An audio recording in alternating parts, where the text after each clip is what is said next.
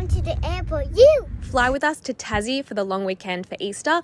I feel pressured now to say Tassie because I said Tasmania on the plane, and someone literally stopped me and said, Do not call it Tasmania. The locals call it Tassie. So, um, lesson learned don't call it Tasmania, apparently. Malachi got obsessed with this fork, and it was kind of downhill from there. When we confiscated it, he was not happy about that. I want to go to Italy or Greece so bad. I've never been to Europe, but every time I fly, I'm reminded that I will not be doing that until my younger child, my youngest child, is at least four because traveling with Fox is so easy, so enjoyable. But a one year old, like, it's not hard, it's just exhausting stimulating them on the plane. Anyway, we made it to Tassie. Not Tasmania.